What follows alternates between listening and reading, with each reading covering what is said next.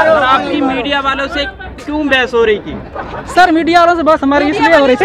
Sir media ma'am वालों को तो मीडिया नहीं बोलना चाह रहे हैं। वो सच्चाई को नहीं फॉलो करना चाह रहे हैं इसलिए बहस हो रही थी मीडिया से। आपका जवाब देते हैं। मीडिया जब चौदह तारीख को लड़की का रेप होता है उसके साथ ठीक है? कुछ नहीं बोला जाता। और आठ दिन बाद मतलब पंद्रह से दस पंद्रह दिन के बीच मीडिया कहाँ थी? जब आप मीडिया आ जाइए ना? मीडिया ये बताइए हमको जाने नहीं दिया हाँ, मीडिया दूसरी बात। पहली बात मीडिया कहाँ थी?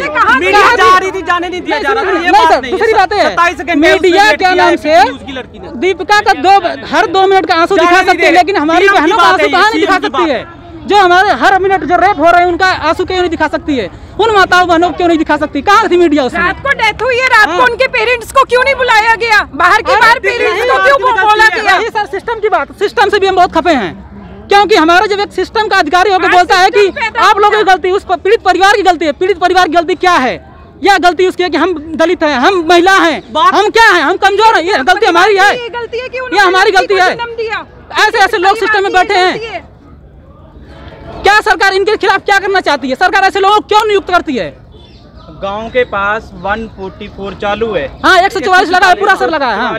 144 धारा लगी हुई है। बिल्कुल लगी है। 144 धारा लगने के बावजूद भी कुछ ही दूरी पर स्वर्ण समाज के जो लोग हैं वो हाँ। आरोपियों के समर्थन समर्थन में बोल रहे हैं, प्रदर्शन कर रहे हैं। इसका क्या कारण है सर? सर इनका कारण ये है कि वो चाह रहे हैं कि इनको बचाया जाए क्योंकि वो किसी विशेष जाति विशेष वर्ग से आते हैं और उसी का समर्थन कर रहे हैं। सीधी सी बात है वो। आरोपियों का ये जो सरकार है ना ये हमेशा आरोपियों को बचाने के चक्कर में रही है। चिन्मय चिन्मयानंद ले लीजिए इसके बाद यहाँ कुलदीप सेंगर ले लीजिए कुलदीप सेंगर। ऐसे लोगों को जब जेल से आते हैं ना तो उनको माल्यार्पण किया जाता है। ये तो ये तो सपोर्टर सरकार है। तुम रेप करके आओ मैं तुम्हारा माल्यार्पण करूँगा। ये कैसे कह सकते हैं कि हम बेटियों को न्याय देंगे? मोदी जी बोलते हैं कि बेटी बचाओ बेटी पढ़ाओ। कहाँ बेटियाँ बच रही हैं? कहाँ बेटियाँ पढ़ रही हैं? जिस समय आपसे मैं रिपोर्टिंग कर रहा हूँ मैं बात कर रहा हूँ ना उस समय भी किसी न किसी बहन का रेप इज़्ज़त ले ली जा रही होगी। हर मिनट हमारा जो एनसीआरबी डेटा 87 87 उसका देर का डेटा उसने अपनी कि हाँ पर डे रेप हो रहे हैं। कहाँ है भाई हम कहाँ है? हमारी सरकार कैसे बचा रही है बहन बेटियों को? सुख सुविधाएँ हैं लड़कियों को? क्या किस चीज़ से सेफ़ है क्या लड़कियाँ? उस- उस ये चीज़ बताओ ना कि किस चीज़ में वो सेफ्टी है? नहीं है आज की लड़कियाँ नहीं सेफ़ है। हम लोग नहीं निकल सकते बाहर।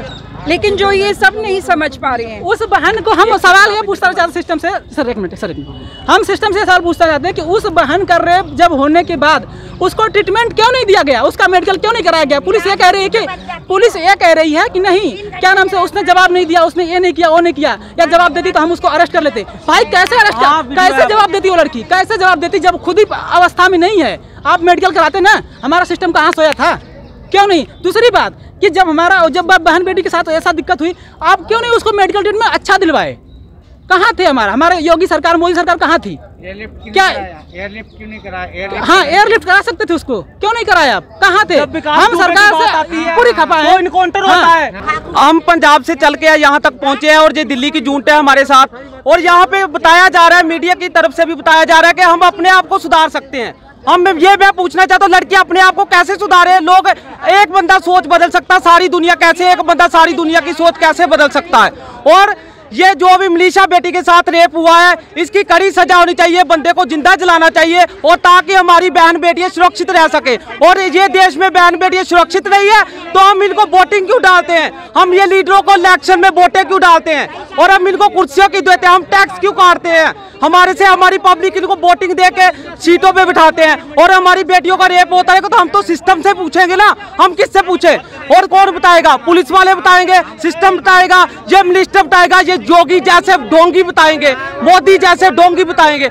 और हमारी बेटियों के साथ बोलते कि वेस्टर्न कपड़ों से वेस्टर्न कपड़ों के साथ बच्चियों का बच्चियों का गलत इफ़ेक्ट पड़ता है। तो ये वेस्टर्न शोरूम बंद किए जाए। और जो अगर वेस्टर्न कपड़ों से हुआ तो मनीषा ने अगर मनीषा ने अगर मनीषा ने कोई चारा लेने गई तो उसने वेस्टर्न कपड़े डाले हुए थे।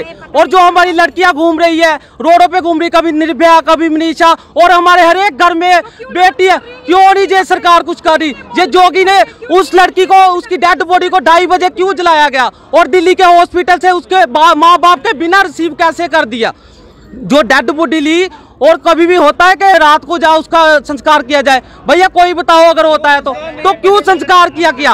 अगर वहाँ पे उसका रेप नहीं हुआ, उसकी रीढ़ की हड्डी नहीं टूटी, उसकी जीभ नहीं काटी गई तो उसको क्यों मारा गया? उसको कुछ हुआ नहीं तो उसको मारा क्यों गया? और मैं सारे देशवासियों से ये पूछता हूँ कि प्रधानमंत्री जो जिसका अपना कोई बच्चा नहीं, घर नहीं, बाहर नहीं, उसको पता नहीं, जिसकी घर में लेडीज़ नहीं, उसको क्या पता लेडीज़ की इज़्ज़त क्या होती है? और ये लेडीज़ की इज़्ज़त इनको हम करना सिखाएँगे। हमने प्रण लेके पंजाब से चले थे कि ये भारत सरकार की ईट से ईट बजाएँगे और ये मोदी सरकार को हिला के बताएँगे। ये दलों को हमने भर्ती कर रखा है हमने देश में इनको वोटिंग दी है। ये दलों ने हमारे देश को खोखला कर रखा है। और अब बताओ कि हमारी बहनें सुरक्षित कैसे रहेंगी? हमारी बेटियाँ बीबियाँ कैसे सुरक्षित रहेंगी? सत्तर सत्तर साल के सत्तर सत्तर साल सत्तर सत्तर साल की लड़के बुज़ुर्गों के साथ रेप हो रहा है, पचास पचास साल की बुज़ुर्गों के साथ रेप हो रहा है, और किस वजह से हो रहा है? अगर ये सरकार कुछ कर नहीं सकती, ये सिस्टम अपना चेंज नहीं कर सकती तो आज के बाद ये हमारे देश में राष्ट्रपति शासन लग जाना चाहिए। हमारे देश में राष्ट्रपति शासन लगा दे, अगर ये सरकार नाकाम है, और ये सरकार से हम पूछना चाहते हैं कि तुम हमें बताओ, क्या अगर हमारे देश की बेटियों को तुम नहीं सुरक्षा कर सकते हैं तो हम पे छोड़ दो। हम देखेंगे इस गद्दारों को जो देश की बेटियों की आबरू की तरफ़ देखेगा, कभी भी बर्दाश्त नहीं करेगी। चाहे वो पीएम हो, चाहे सीएम हो, चाहे देश का कोई भी मंत्री हो, हम उसको ज़िंदा जला देंगे।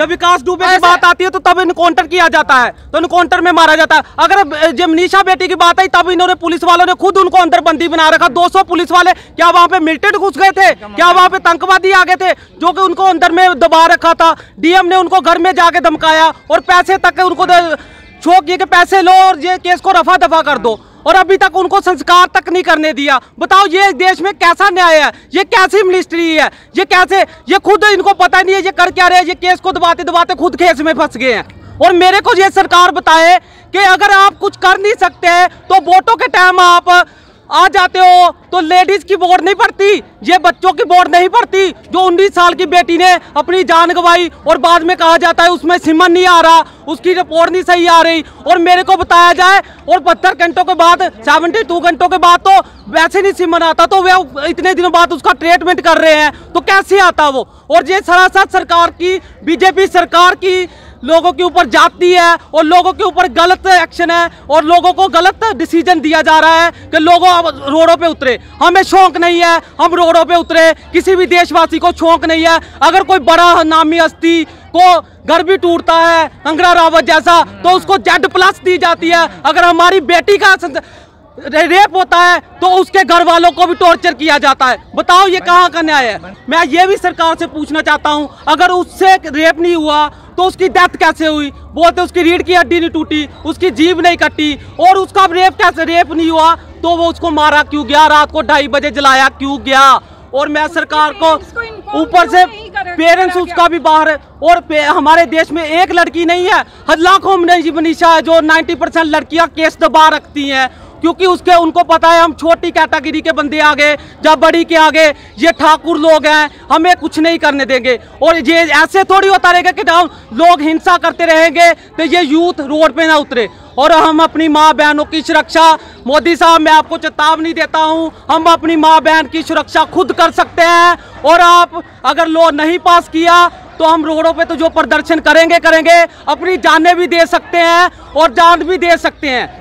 और जितने भी यूथ हैं, मेरी बात सुन रहे हैं और मैं उनको अपील करता हूँ कि सभी के घरों में बहने हैं और सभी रोड पे उतरने की बजाय ये सरकार को मुँह तोड़ जवाब देना चाहिए। जब इलेक्शन टाइम आएगा, ये घर घर अपनी कुत्तों की तरह हमारे पीछे घूमेंगे और तब इनको जूते मार के निकालना चाहिए ऐसी सरकारों को, जो बेटी की इज़्ज़त नहीं कर सकती।